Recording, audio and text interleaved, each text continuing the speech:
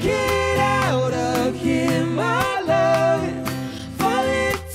The stars above. I know you're tired, you've had enough. Keep breathing, breathing, breathing. I was actually in the States on tour and I heard her song with Kyle Deutsch, uh, Back to the Beach.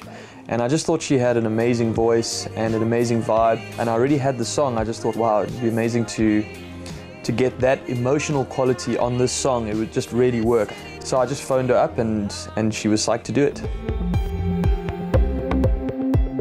Chasing after shadows. I went quite a, a, a new direction for this album. You know, I kind of went more electronic, uh, less organic elements, less guitar elements, and I just wanted to try something new. And it was basically an experiment, and it was an incredibly creative time for me.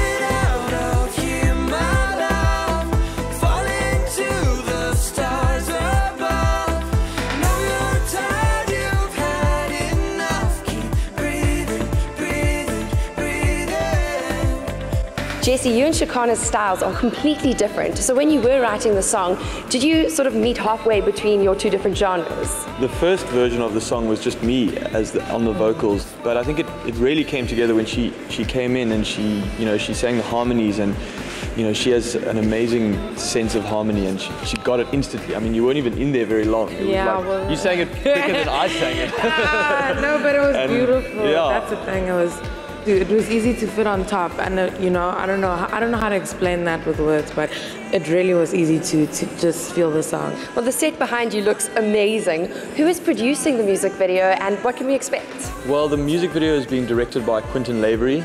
It's basically a performance video. The song has a lot of interplay between light and dark, and you know the inside and the outside, happy and sad, and you know there's there's a lot of juxtaposition in the song.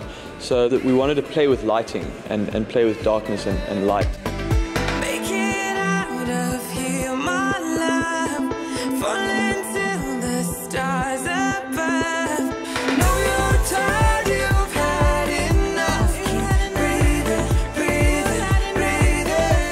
What is breathing about?